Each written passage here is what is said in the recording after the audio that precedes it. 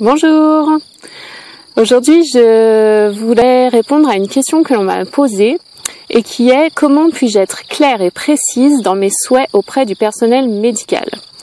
Alors c'est une très bonne question, euh, surtout en France où euh, l'accouchement classique est médicalisé et où euh, on a plutôt l'habitude que la femme aille à la maternité, suive les injonctions, les conseils du personnel médical, fasse ce qu'on lui dit de faire et, et voilà. On n'est pas trop habitué à ce qu'elle ait des souhaits. Donc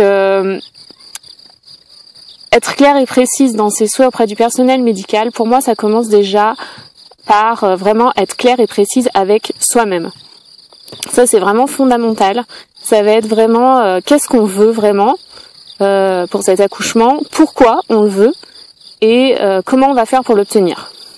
Donc, c'est déjà un gros travail personnel à faire pour voilà pour pouvoir ensuite présenter ça à la maternité. Donc pour le présenter auprès du personnel médical, il existe un outil qui s'appelle le projet de naissance. Donc euh, le projet de naissance, c'est un document qui est écrit euh, sur lequel vous allez mentionner vos souhaits sans, sans en faire des injonctions non plus, sinon ça, ça risque d'être mal pris. Donc c'est vraiment un projet qui s'écrit euh, dans le respect de vous-même, de ce que vous voulez, et aussi dans le respect des personnes qui vont vous accompagner, personnel médical compris. Euh, ce projet, il faut le, préparer en amont de l'accouchement pour pouvoir le présenter à l'équipe médicale avant le jour J. C'est le présenter avant le jour J, ça permet d'en parler avec l'équipe médicale, euh, de revoir éventuellement certains points qui sont pas possibles pour eux ou voir vraiment ce qui est important pour vous euh, et sur lesquels vous voulez pas revenir. Et s'il est accepté par l'équipe médicale, et eh ben le jour J, il y a de grandes chances pour qu'il soit respecté.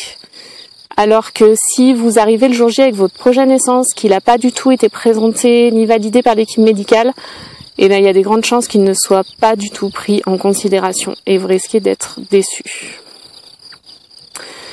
Euh, les équipes médicales sont plus ou moins ouvertes au projet de naissance. Ça dépend vraiment des maternités.